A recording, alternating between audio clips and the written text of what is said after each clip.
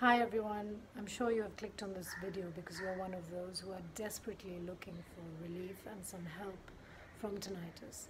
I was in this position about a month and a half ago when I was diagnosed with tinnitus and I was desperate, I was afraid, I was frightened to be alone, I couldn't sleep at night and I felt trapped in my own body. But a few weeks into the tinnitus, or let's call it the T, um, few weeks into my T, I sort of discovered and realized that there are a bunch of things that you can do on your own to help you from this.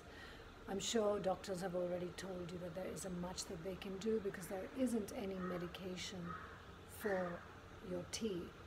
But I promise you, um, last few weeks I have felt relief because there are a few things that I tried uh, that you can do at home that are free, that can be done with your mental strength. And I would like to share these tips with all of you so that you can get some relief as well. So in my next few videos, I will be talking about a bunch of things that I did that surely helped me and are continuing to help me. And I'm hoping that these tips will help you too, so keep watching.